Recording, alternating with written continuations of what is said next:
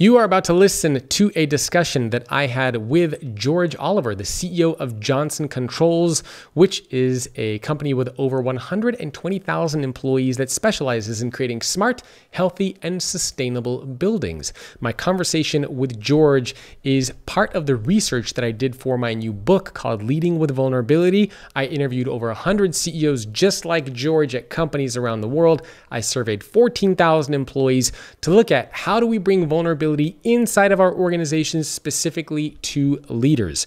So if you want to hear from more CEOs just like George, grab a copy of the book by heading to leadwithvulnerability.com.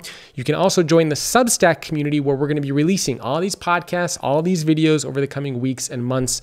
And the link to that is greatleadership.substack.com. So I hope you enjoy this conversation with George Oliver.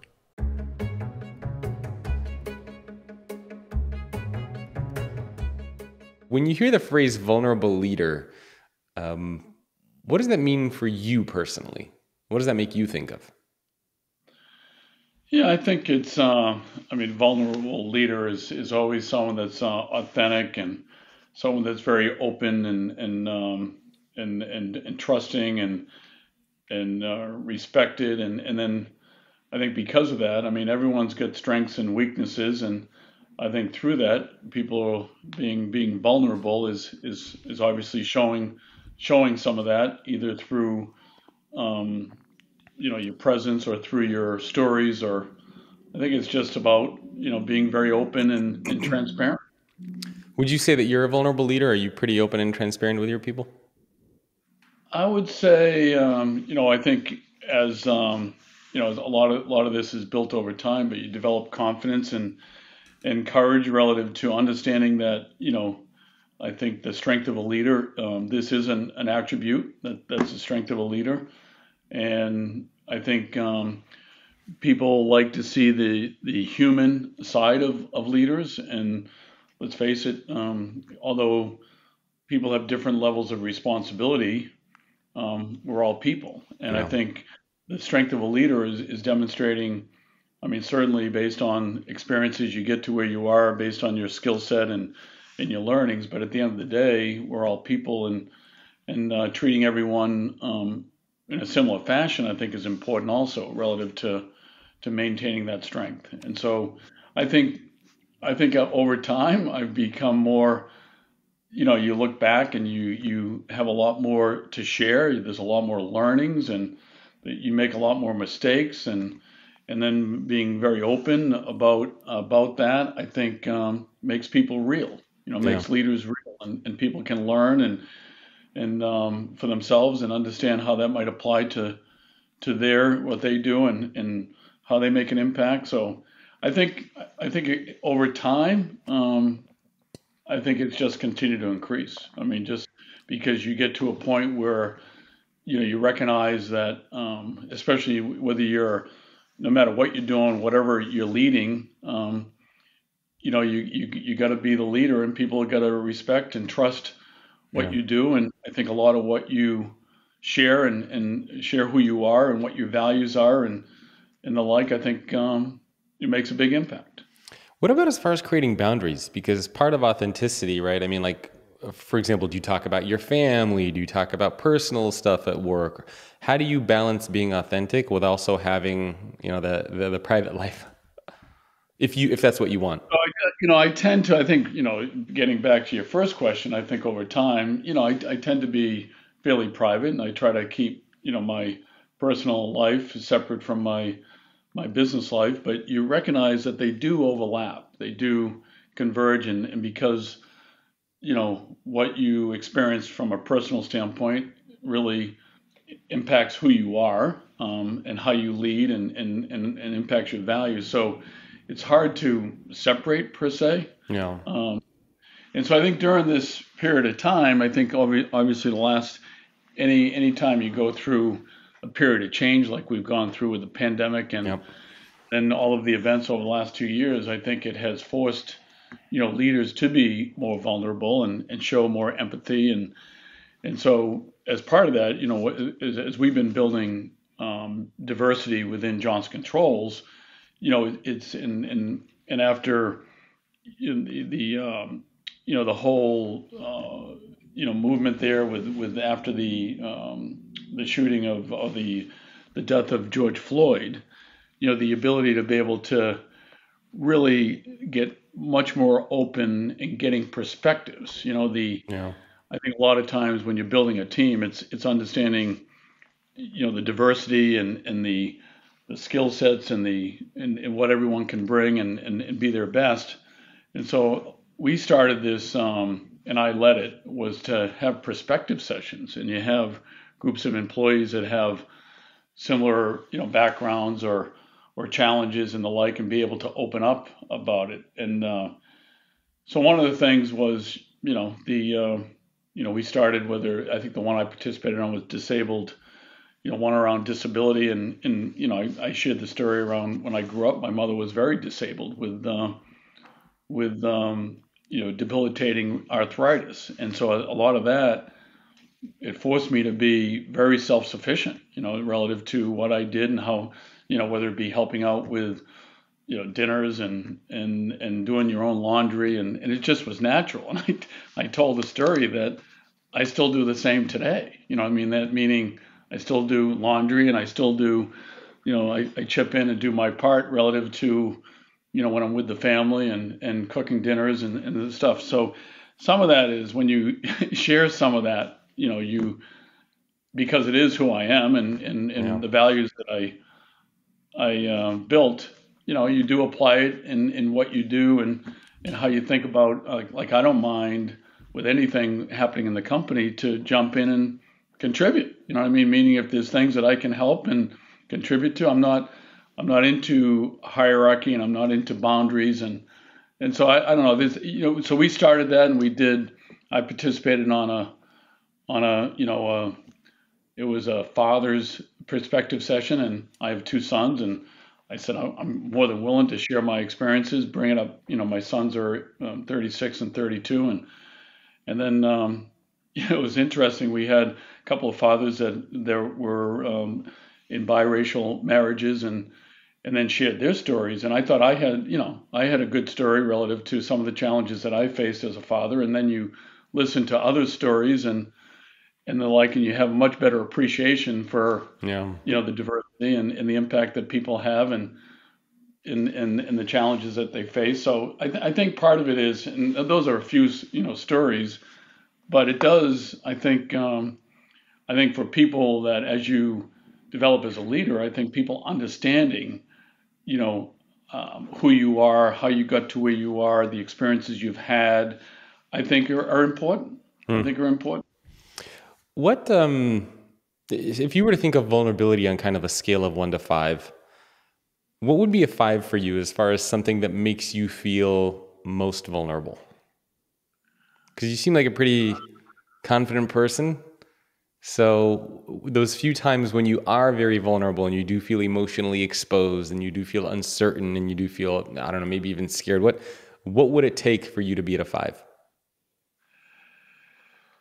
So, that's a good question. I would say, and again, I think over time it uh, it continues to improve. You realize that that everything you do is built on the foundation of relationships, and I think relationships are are long term and are built on trust and respect. And so when you get into tough situations, whether, you know, I, I could go through a number of tough situations that I've had to, to lead through, the more that you can can um, be yourself, be open, be transparent, um, is, is what quickly builds those relationships and, and, and builds the trust.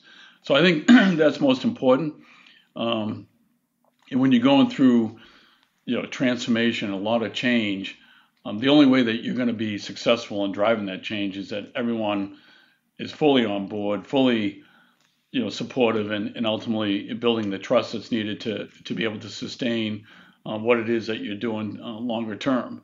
And so, I think when I and, and some of this is not only you know getting a sense on where you are as an individual, but then you know what it is that you can do as an individual that transcends you know 100,000 people right yeah. and so the more that I when when in, in, all of my engagements the more that I can be open and transparent and and um, share stories and and uh, examples and the like is where people come back um, and assess that hey boy that you, you really you know you really made a big impact you know? So it isn't so it's i think it's those elements or those those examples that even though i mean you can you know you can always you know fundamentally drive change but if it's one dimension yeah. um, you know it's, it's, it's then how is it how is it received right? Mm. how is the individual receiving that? And then what is it that inspires them to be themselves and to be able to step up and feel like they can make a bigger impact and be part of a you know bigger mission?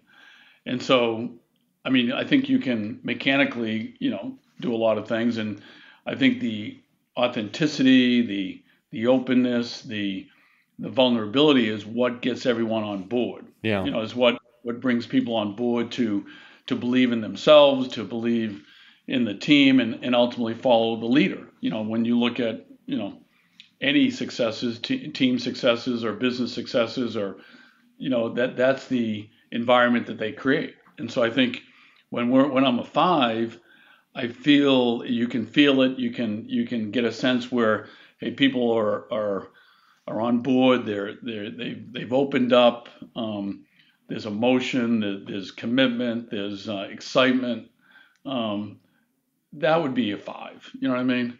Okay. When it's a one and you're obviously trying to move a mountain or try, try to you know achieve a, a big, and then you, you can tell you can tell whether you've been able to achieve that that commitment or or be able to inspire and get everyone understanding kind of what the you know what the problem is, what we're trying to solve, and then how do you you ultimately you know become part of the team be able to be your best and, and believe that you can achieve something more together than what you would achieve as an individual. Yeah. So, so it's interesting that you, that, yeah, that helpful? Yeah, you talk about the five as a positive because um, a lot of leaders I've interviewed, when I say, "What's a five for you?" You know, vulnerability is that kind of like an uncomfortable feeling of uh, fear. Uh, you know, Brene Brown talks about it as fear, uncertainty, uh, you know, risk, yeah. and emotional exposure. So, what would well, if you look at more as an individual, I would say. Yeah, what um, makes you um, feel most emotionally exposed and uncertain? What kind of a situation? you're, to be honest with you, when you go into a situation, and I've had lots of situations professionally where you go in and you bring a lot of depth and expertise, you bring, you know, experience and and, and the like, but it might be areas where you're now in, in an assignment that there's a lot of there's a lot of gaps and, and, and less experience and you're taking on new challenges that you've got to be open about and, and vulnerable about. That, yeah. that you know when you go in and and I mean a good example was when when we did this merger and, and, and the plan of the merger was was merger of equals and over 18 months I was going to ultimately take the company forward and and of course when you do a merger of equals it's never as it's planned and so what happened we you know it was a difficult merger in the first year and things were more more challenging, and there was a, a division of leadership. And then you say, okay, you know, based on the state of the company, investors get a little bit active, and and then they you know want change, and so then then change occurs, and and then you're in the seat. You know, you're in the seat, and then you say, well.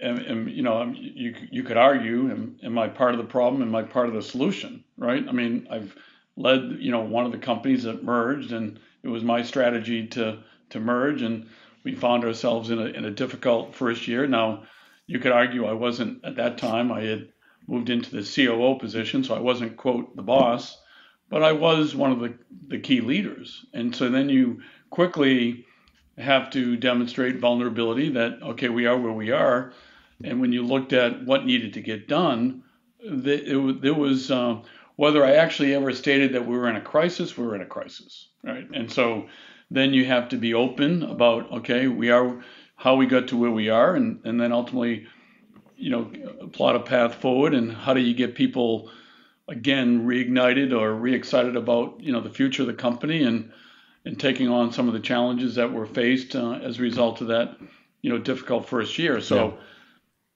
and I think your success is a ability to be able to connect and get people aligned and and, and get people again, you know, excited about the future of the company and and that's what we want to went about to do and that was five years ago that was um, yeah. back in 2017 can you share a time when you were vulnerable with your team and what the impact of that was um, and any actually any stories because you know one of the people one of the things that people love to read about and hear about the most are uh, stories. You know, whether they're good or bad. You know, I, have talked to a couple CEOs who shared stories where they were vulnerable and, and it actually uh, ended up not being a good thing. Um, so you obviously have a very seasoned and tenured career in leadership. So any stories that come to mind for you, both good and bad? I, mean, I get a lot of. I mean, there's a. I mean, it's it's you know to what level you want to uh, discuss it. I would say. Um, you know, you take on, uh, when I say vulnerable, you know, like, uh, and th- this is sometimes part of the learning, but I tell these stories a lot because I was, you know, the, and, and maybe it was the, the the other side of being vulnerable. Maybe it was being, you know, at, at the time being more bold and vulnerable, but you become vulnerable as a result. And so the, the, you know a lot of times I've you know I came up under the the Jack Welch era in GE and yeah, um, it's a very you know, non-vulnerable of, way to lead. oh, exactly. and so I think you you know it, it was it was the, the the probably the opposite where you would you know you'd be bold and do things and then I think um, it was you know you, you go through some learning some sometimes good sometimes bad and so I think there was a lot of t- times I took on some big, big initiatives, um, and and as a result became vulnerable, right? I mean, because you you you you go after something you believe that you can you can achieve, and then as a result, maybe maybe you learn something different, and then you have to be mm-hmm. you know very open and transparent that maybe things didn't go as planned, and and make sure that everyone understands that you know the the whole culture is okay. It's okay to make a mistake, but don't don't repeat it. You yeah. know what I mean? And so I think um, I think good leaders. Um, number one, you, you need to be decisive. You do need to get people aligned, and then obviously decide when you take the hill. And sometimes when you take the hill, you got to also make sure you're transparent um, relative to whether um, taking the hill worked or not. And and so I think um, you know you become a little bit vulnerable as a result of that. Um, Any stories you, come to mind for you, like specific uh, situations that occurred that really made well, you I mean, feel vulnerable? Early career, I think some of these foundational lessons were were like early in my career. You know, I came up through operations and you know just in time lean manufacturing was um, was a big deal and GE was um, you know there was a, a, lot of work to be done and so back in the um, it would have been back in the, the, the late 80s, early 90s when, yep. you know, I had my first plant manager job. And that was a big deal. I mean, that, you know, when you become plant manager, you think that, that you've made it. I mean, that's a big, you know, big deal when you're in operations. And so then you decide, okay, I'm going to be the leader. We're going to be the best. And, um, you know, it actually started with vulnerability because at the time there was a major um, aerospace downturn. And to to um, be able to position the plant. It was a, a lease plant. There was going to be certainly some downsizing across the company, across the business. And um, I was leading a very productive plant uh, up in New Hampshire. And, you know, because we were somewhat vulnerable because of the, the downturn and that we were a lease facility, um, took, took it upon myself to say, listen, we're going to be the best. You know, we're going to do, we're going to embrace these, the strategy. We're going to we're going to be the best. We're going to be lean. We're going to we're going to be we're going to create work cells. We're going to multi-skill. We're going to do all the things that at that time um, defined competitive manufacturing. And so we did that. Um, shut the plant down, and just a little bit of background: all, the plants, you know, make components that ultimately go into multiple engines when you're in that business. You know, multiple engine lines. So when you shut down a plant, you're in essence, you know, you're shutting down engine lines. So you have to plan ahead, and we did that and said we're going to be shut down for, you know, uh, two weeks uh, to do this. Um, and we did it, and then we're shut down well more than two weeks, right? So then you you say, okay, the vulnerability of being potentially, you know, um, downsized to um, then now the vulnerability that um, the boss didn't, you know, the decision that was made maybe is being second guessed, um, you know, made us even more vulnerable. You know, so, yeah. so leader leaders of the business at the time came to visit. It's one of those visits that you know this isn't going to go well. It's not going to go well, and and what the heck's happening, and who the hell's running this plant, and and and the like. And then you, I definitely felt very very vulnerable, and it was one of these things where uh, still my confidence came through, and I said, I told told my boss at the time to say, you know what, I, I know why you're here. You're obviously assessing, you know, my leadership and my decision making, and I, I would just tell you again that I do it again. I would do it again. That we do, we the learnings here is going to be fundamental to the success of the business, you know, for a long time to come. And so, okay, yes, it's been a short-term impact. I understand, and, and I'm accountable to that. But you know what? I would uh, I would do it again. And so he looked at me. He said, "You're you're you're serious?" I said, "I'm I'm dead serious." Mm. And so I uh, didn't get fired. And um, you know, the plant um, today. Um, I'm an icon at the plant. You know, so the plant has gone through multiple, you know, anniversaries, and there's still people working in the plant. And um, I've, I've met a number of plant managers over the decades that have run the plant, and when they meet me, they say, "Oh my God, George Oliver, you're a legend. You you are a legend." Mm. And so, uh, so I mean, you, you know, you go through experiences like that, and I tell some. Sometimes I tell that story, and people are fascinated. And I say, "Yeah, I didn't get fired. I actually get promoted." Well, it's interesting because it also sounds like you could have easily passed the the blame and said, "Oh, you know what happened because our team didn't get things done on time, or this happened." But you, it sounds like you oh, took no, the accountability no. yourself.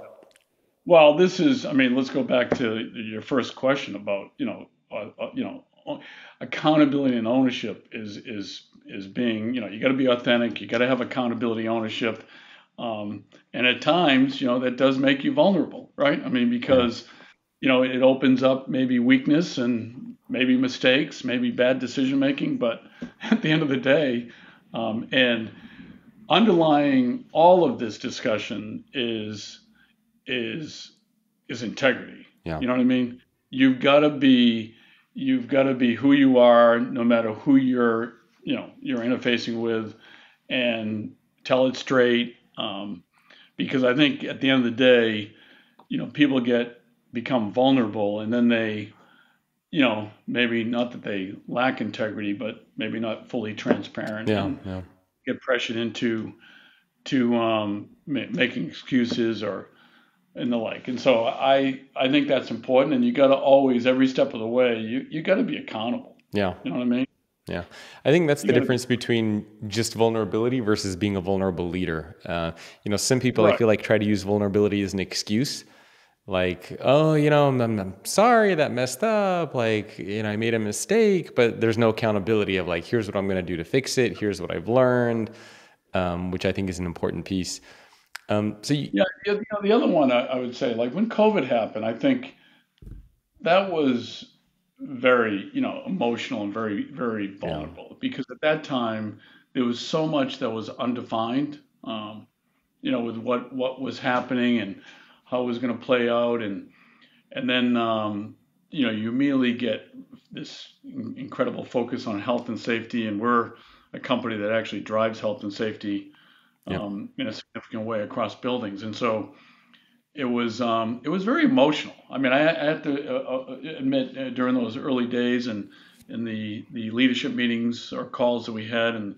and the like, um, you know, you know, forced everyone to, you know, to to be much more vulnerable relative to their own emotions and their own, you know, and, and how they were dealing with it and, and and the like. And I think that set set the stage for, you know, during that period of time for for the team, you know, being able to to cope and be able to, you know, work through, you know, the challenges at the same time while we're trying to maintain, you know, some st- stability and and focus on our customers and continuing to deliver deliver on you know the support of critical infrastructure. And so I think that was uh, an interesting period of time. It kind of test you know tested leaders in a in a big way um, yeah. when you go through that amount of change and, and and how significant that was.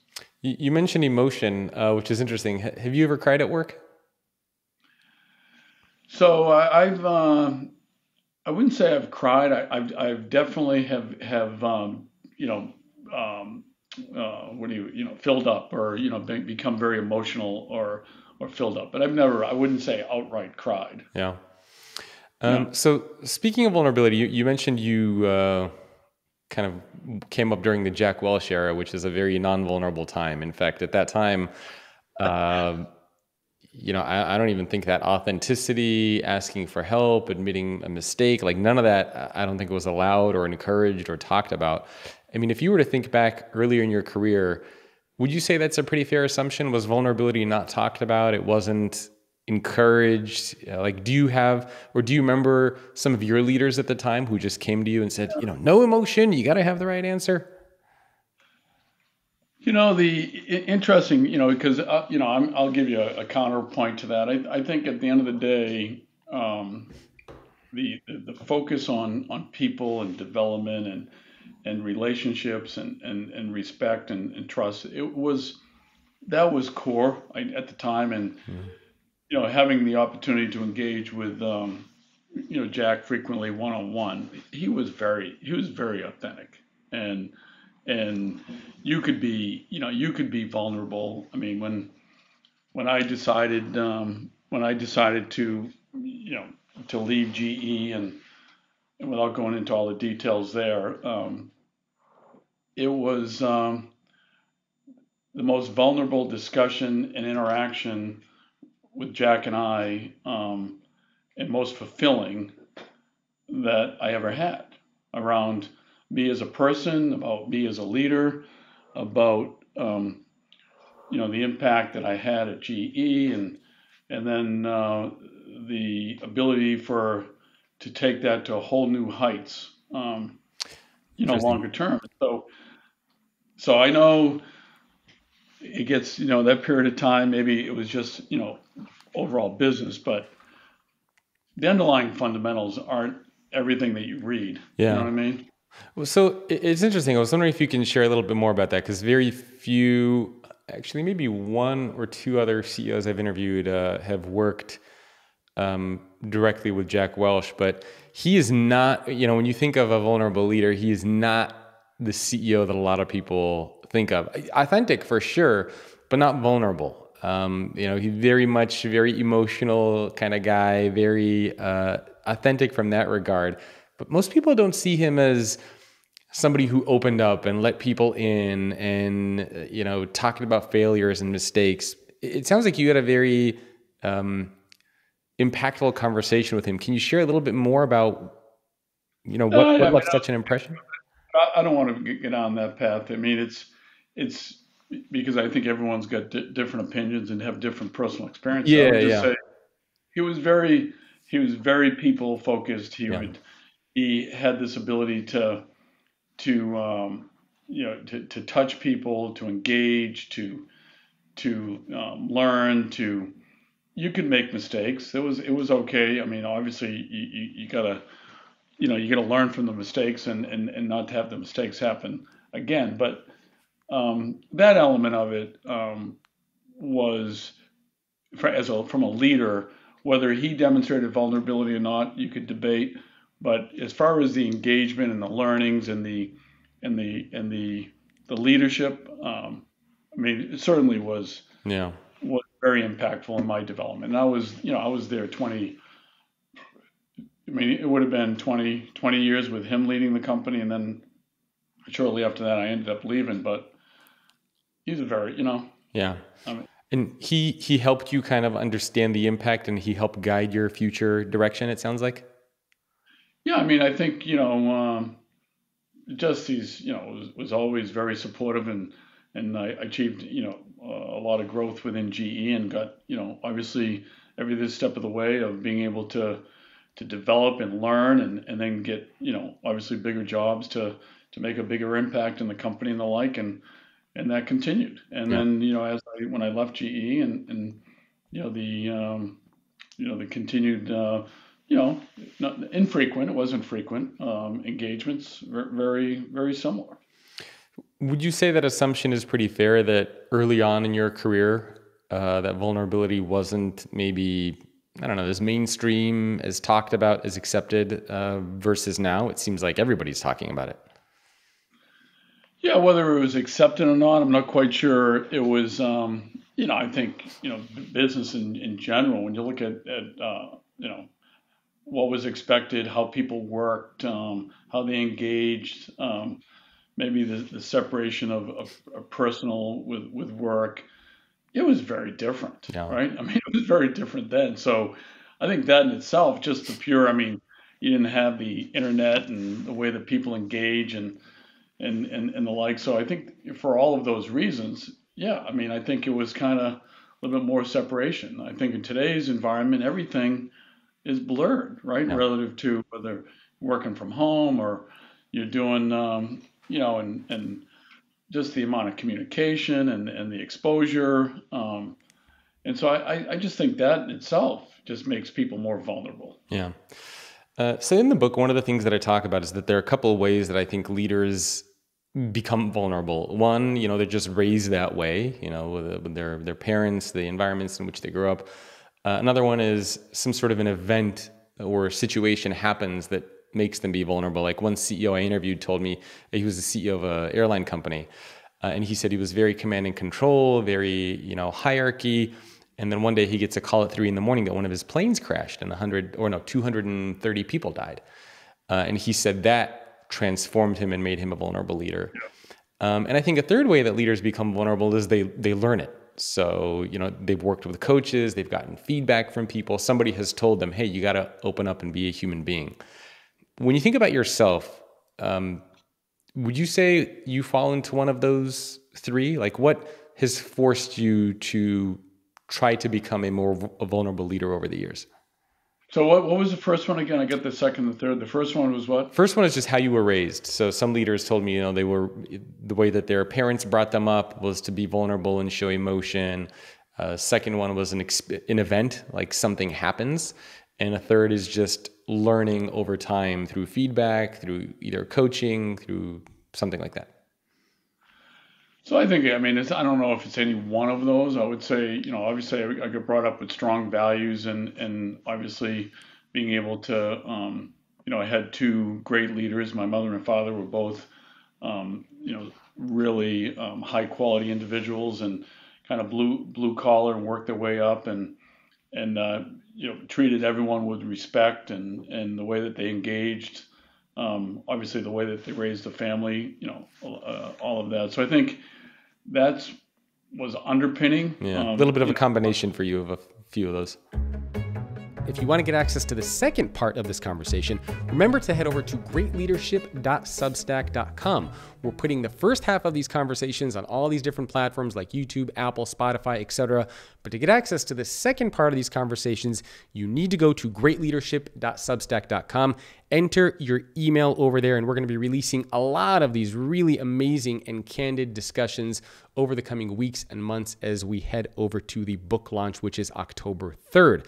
And remember, you can also pre order a copy, which I hope you do, at leadwithvulnerability.com. Again, I interviewed 100 CEOs, surveyed 14,000 employees, and the whole premise of the book is looking at how leaders can approach vulnerability in the right way. So I hope you enjoyed this discussion. I'll see you next time.